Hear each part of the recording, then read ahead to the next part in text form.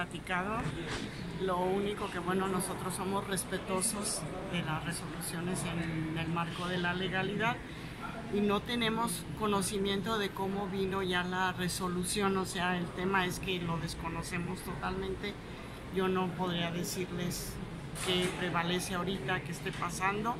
Y bueno, yo creo que ya él tendrá que tomar una determinación como presidente y al final de cuentas este, esperar los términos y de ahí pues bueno el consejo eres, es el que tendrá que decidir, ¿no? Nosotros somos respetuosos y no podría decirles más nada. ¿Pero les no ha te- llegado la notificación ahí al menos No. a Zapal? No, hasta ahorita no tenemos este, notificación alguna, por eso es imposible hacerles algún comentario al respecto. Ni Es- tampoco ha platicado con, eh, con, con Pedro González. No, no, no, yo no he platicado ahorita con él. Y sobre este tema lo hablaron con el, el alcalde de la sanción del señor Bueno, Pedro. en el sentido que les estoy manifestando, mientras no tengamos conocimiento de la notificación y en qué sentido viene, pues nosotros no podemos este, expresarnos.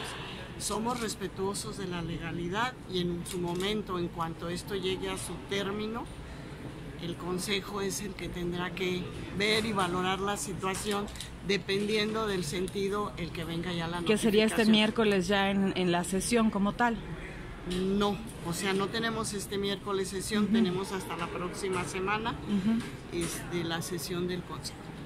Oiga, y en esta reunión que ya tuvo con Héctor López eh, Santillana, ¿qué temas abordaron? ¿Qué es lo que, qué es lo que le, le Bueno, estuvimos viendo algunos temas del propio quehacer diario de Zapal, estuvimos viendo el tema de Zapotillo, que ahí vamos caminando y bueno, estamos en la definición de la concesionaria que sea el Fondo Nacional de Infraestructura, debiendo cumplir con los papeles. Es un tema que ya se está viendo en la dirección de Banobras y en- ahí hay un consejo en el que participa gente de la Secretaría de Hacienda y Crédito Público, entonces estamos en espera.